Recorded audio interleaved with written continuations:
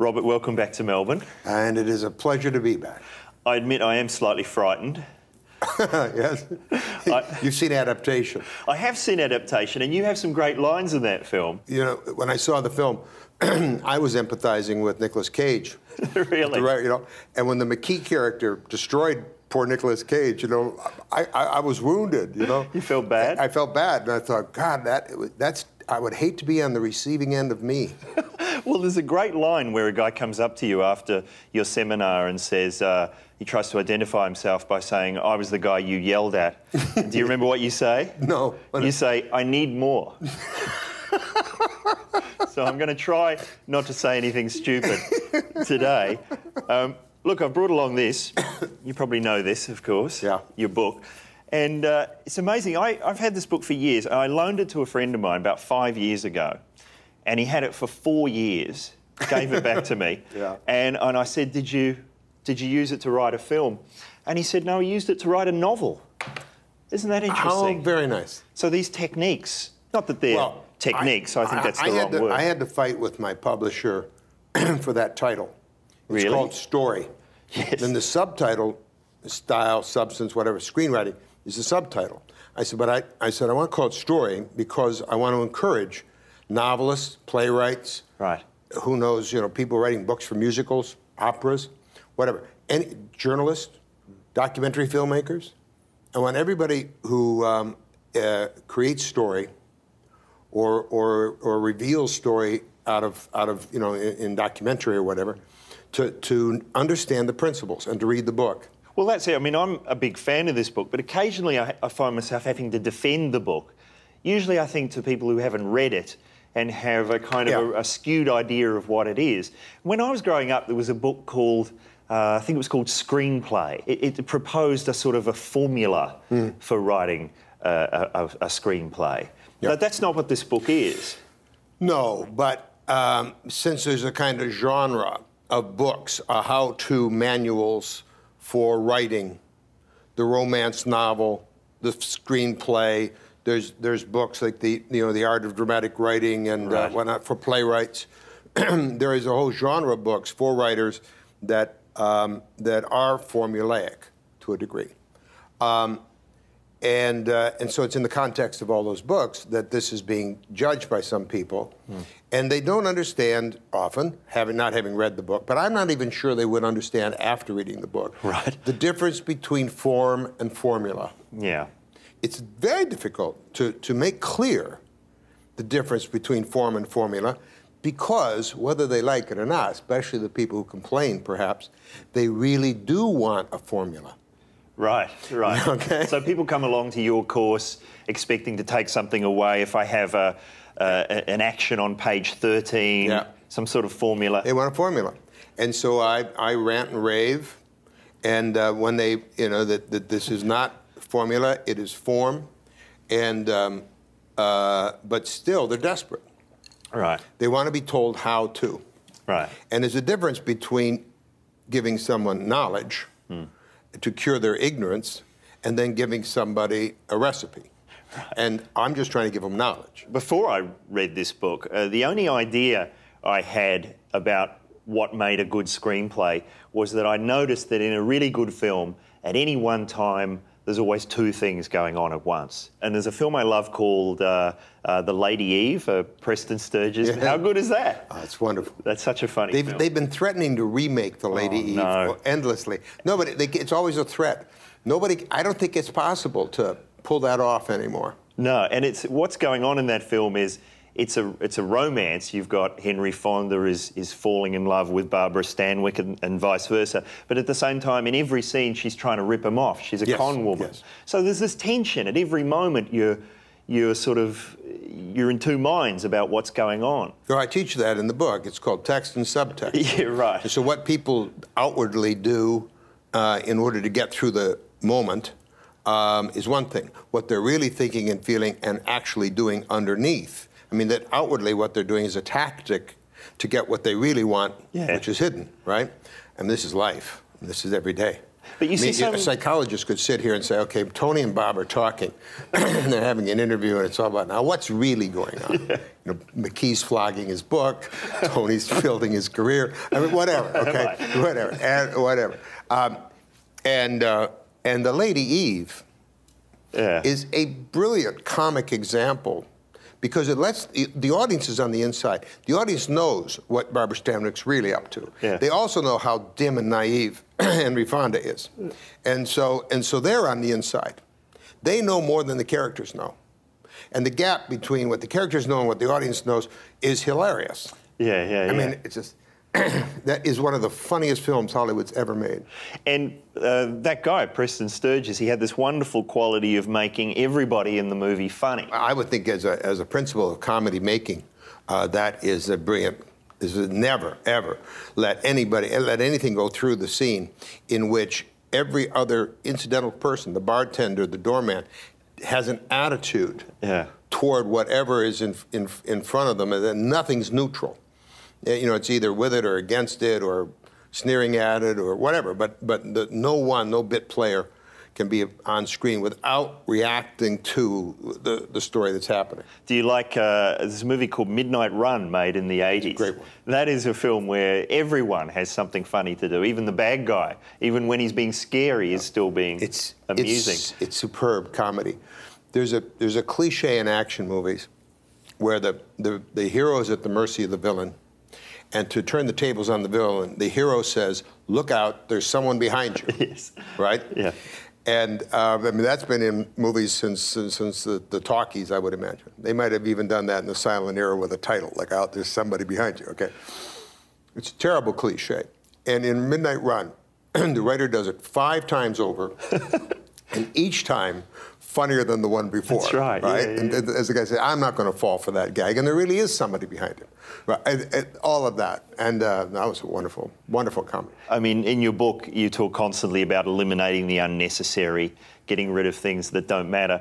But I, I love there's a moment in your book where you say sometimes in comedy you can just stop the plot and, and run on the spot for a while. And you use a great example is the scene in Little Shop of Horrors with Bill Murray as the dentist, uh, as the the guy who's addicted to going to Masochistic, the pa- yeah. masochistic patient. Now that's that scene really should have been cut out of the film. I guess it's got nothing to do with what's going on, and yet it's probably the best scene in the film. I, I Well, would suggest. the Marx Brothers made a career out of this. Yeah. If you took a Marx Brothers film, which is going to take 80, 90 minutes, and reduced it down to how much storytelling is going on, maybe 10 minutes. Maybe 10 minutes. There's an inciting incident, first, second, third act climax. Right. Okay, that takes 10 minutes. The other 75 minutes is given over to absolute shtick and madness and Right. and playing pianos and uh, you know whatever harp solos. Harps and all that you don't stuff. see too many harp solos in movies anymore. No. And, and so they, they, they, I mean, the, the rule of comedy is if, if they laugh, you're winning. If they don't laugh, you're losing. I mean, that's it. As long as you can keep them laughing, it, it really doesn't matter uh, much what's going on in the story. Um, something else uh, which people who maybe don't know a lot about writing films will always say is that you've got to have a likable hero. And there seems to be this obsession in Hollywood with likability. The problem is that most people do not understand the difference between sympathy and empathy. Yeah, right. You want an empathetic protagonist. Yeah. But he doesn't have to be or she sympathetic. They don't have to be likable. No. They must cause the audience to react like me. They must recognize a shared humanity between the character and themselves.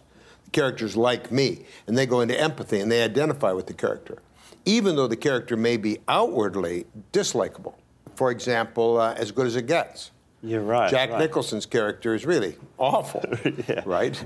Uh, but but he's but somehow he causes us to empathize. But as I said, because most producers don't understand the difference, or if they, even if they do, they're afraid that if the character isn't likable, that the audience will turn against. Um, they they will force writers to write nice.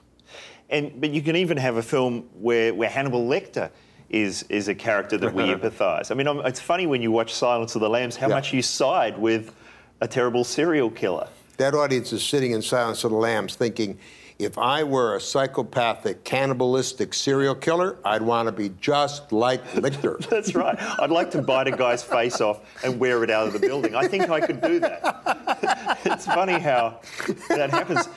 Uh, Tony Soprano is another a character. Yeah, you have to constantly remind yourself that he's a murderer. A horrible person. Yeah, Yes. and yet I constantly Well, you worry. don't have to remind yourself because he kills people periodically. Yeah, that's I mean, right. it's but, but we we forgive him. yeah, I mean, it, it's amazing the power of great storytelling and great writing. If you, I mean, take Macbeth. right.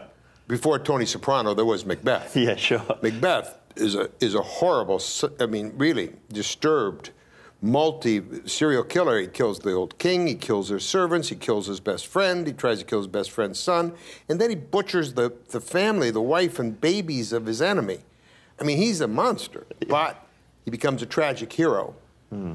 because Shakespeare draws empathy by making him the most guilt-ridden character ever to walk the stage.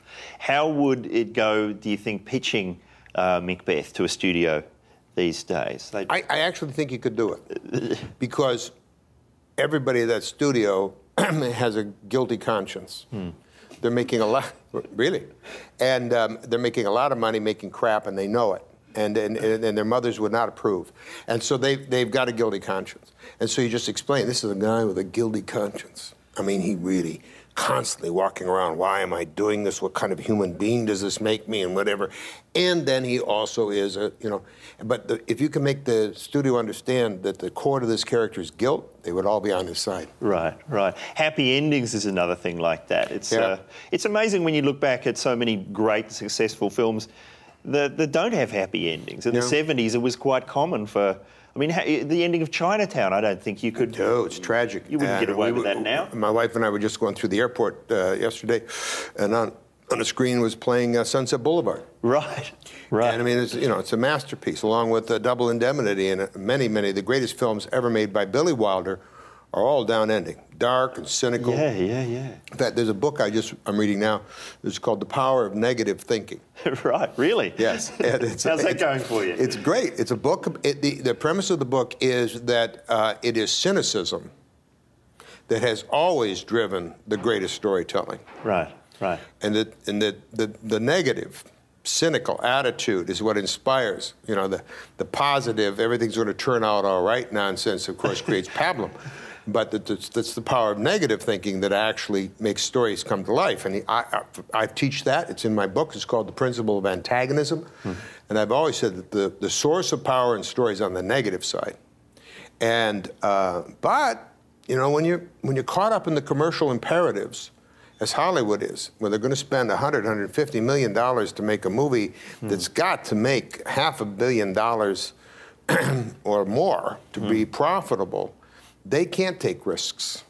They can't indulge in tragedy. They can't deal with irony. I mean, but the courageous filmmakers like George Clooney and others, you know, will will will just muscle their way into making uh, stories that are still today uh, rich. The, the films of the 70s that we love to sort of romanticize so much now, like The Godfather, I've been watching a few of them recently, and what you notice is they're a lot simpler than you remember.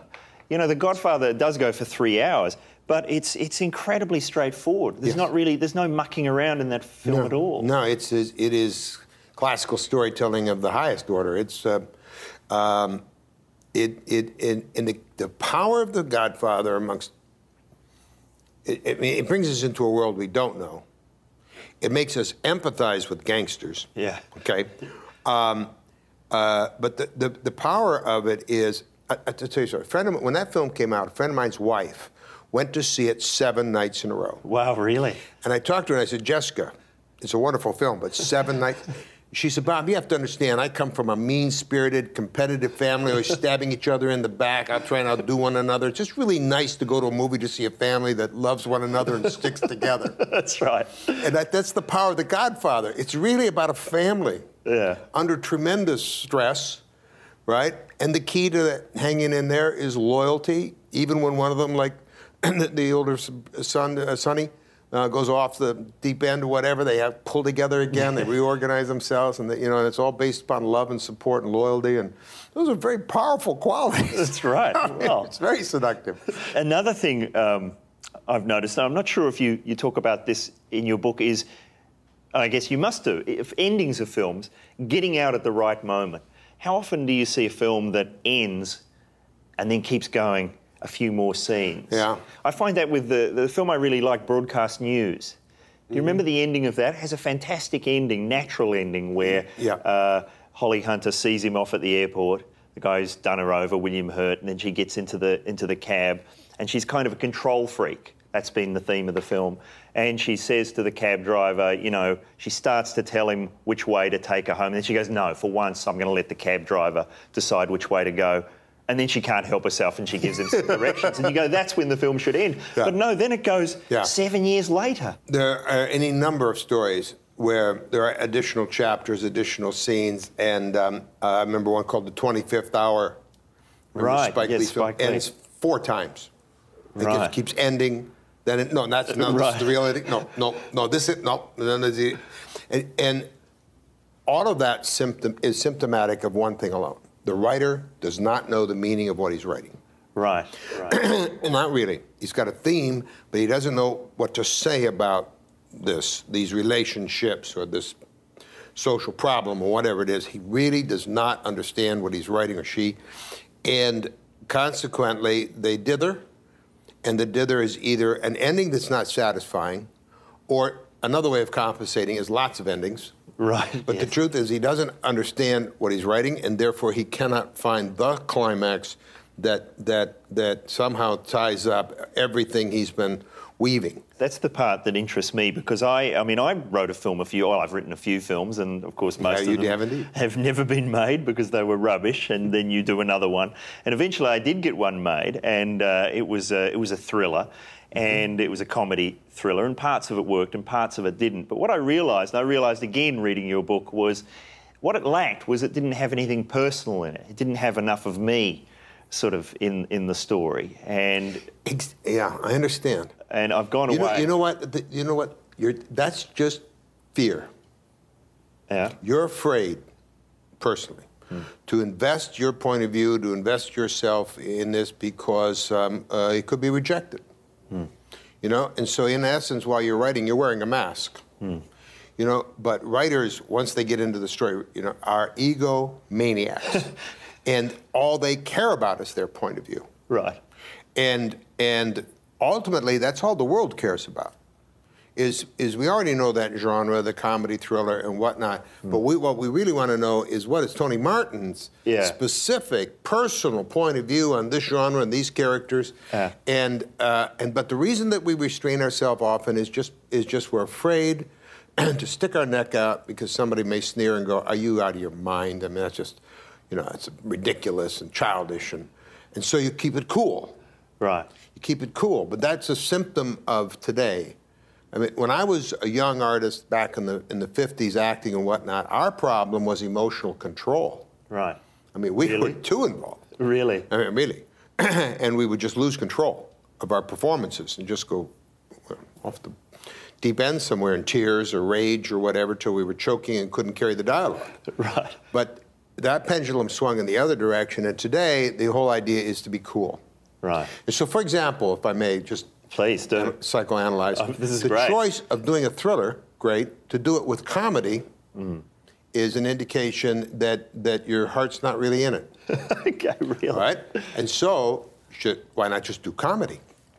Well, that's it. What I've done since then is I've gone. I've, I thought I'll regroup myself, and I went away and I've been writing books, Mm-hmm. which are taking events from my own life and trying to shape them into stories, trying to find stories Yeah. within a larger story. And I've, that's been working. And now I think I'd be keen to go back and, and have a, a go at writing a film that was more like that, that And had more of me in it. And the tone of your books is mostly satirical. It's it's a I guess it's satirical a satirical look at myself. I guess Yeah. I was trying to find the funny things Yeah. in real life, and then not just have it be anecdotes. That's quite easy to do. I think is to make your life into anecdotes, but to actually shape the events into some sort of story and try and find some kind of meaning in there. Well, that's what we were talking about earlier in terms of text and subtext. Yeah. In the subtext of life, there are constant themes. yes. from the day you're old enough to feed yourself or before, there's there's a certain desire for a certain whatever to satisfy you that is driving every human being underneath everything they're doing. And the key to writing a story, about biographically, autobiographically, or pure fiction, is to find that, that spine of action. To say underneath everything that's out here, all this, what does this character really want? What if I could give it to him would stop the story in its tracks and finally put the guy's life into balance? What is he constantly, it's the spine of action, what is he constantly struggling to get no matter what's going on outwardly? And when you discover that spine of action, then the whole thing suddenly shapes and you got, and you got a story. Well, I think I'm going to go and get started on that now and I think I should probably be. Uh, you should be, invoice me. I think for this session. Thanks very much. Uh, You're quite welcome. Lovely to meet you. Pleasure. Cheers.